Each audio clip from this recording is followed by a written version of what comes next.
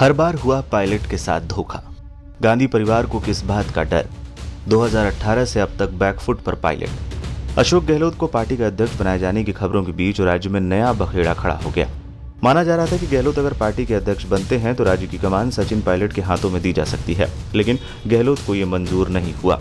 और शायद गहलोत को शुरू से ही ये मंजूर नहीं था। दरअसल, गहलोत और पायलट की लड़ाई आज से नहीं है। दोनों के बीच खींचतान तो चुनाव के नतीजों के साथ ही शुरू हो गई थी। दरअसल, राजस्थान की ये कहानी शुरू होती है 2018 के विधानसभा चुनावों से। कांग्रेस ने सचिन पायलट की अगुवाई में ये चुनाव लड़ा था। पायलट के नेतृत्व के दम पर कांग्रेस ने शानदार जीत हासिल की। हालाँकि, तब सबको ऐसा लगा कि सचिन पायलट को राज्य का मुख्यमंत्री बनाया जाएगा, लेकिन गहलोत ने गेम तभी शुरू कर दिया।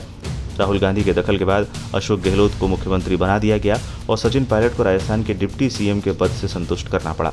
उस वक्त भी कहा गया था कि सचिन पायलट के साथ अन्याय हुआ है, लेकिन शायद ये कहे जाने की आवाज़ आला कमान के कानों तक नहीं पहुँची। हालाँकि तब पायलट और गहलोत दोनों ने अपनी ज़िम्मेदारी संभाली, लेकिन अंदर खाने दरार पड़ चुकी थी। राजनीतिक गलियारों में तब ये भी कहा गया था कि राजस्थान में गहलोत की और मध्य प्रदेश में कमलनाथ की सरकार ज़्यादा दिन नहीं चलेगी। हुआ भी कुछ ऐसा ही। दरअसल, सिंधिया ने तो बगावत करके भाजपा ज्वाइन कर ली और अब केंद्रीय मंत्री भी हैं। पायलट ने भी कई बार बागी सुर अपनाए, लेकिन वो हमेशा फेल हो गए। उन्हें हर बार मना तो लिया गया, लेकिन दरार तब भी बनी रही। दो साल बाद 2020 में बगावत के बाद पायलट की सरकार से भी छुट्टी हो गई। कांग्रेस के ही कई बड़े नेता की ओर से सचिन पायलट को यह नसीहत दी गई कि उनके पास आगे मौका है।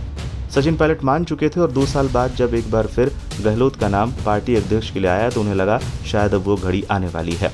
ऐसा लग रहा था कि राज्य के पायलट वो अब जल्द ही बन जाएँगे, लेकिन एक बार फिर राजस्थान की सियासी मौसम खराब हो गया।